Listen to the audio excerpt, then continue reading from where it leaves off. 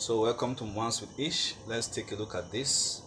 This is a quick one. So we have 2 is about 2 over 3 times or in bracket minus 2 over 6. So all we have to do at this point is to apply the power law. Okay, this power inside the bracket multiplies this one outside. So we're going to have 2 is about 2 over 3 times minus 2 over 6 and that gives us um, 2 here. That will give us 3 so I'm having minus 2 over 9 and you see that.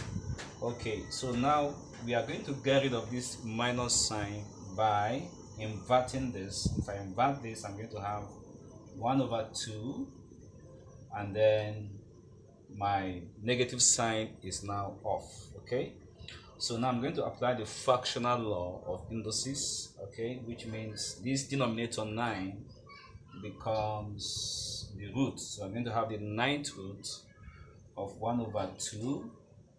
This numerator becomes the power. So let me repeat this particular aspect for those of you who don't know how to apply the fractional law. All you have to do is to take look at the denominator of this power. The denominator here is 9. So this denominator becomes the root of the base.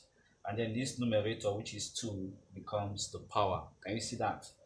And whenever you have something like this, it's it can also be written as 1 over 2. This 2 here can also be brought inside the radical sign.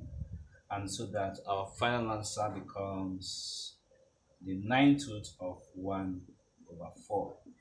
And this is the solution to this problem. I hope you've gained value. Thanks for watching. Share this video and like. Have a good day.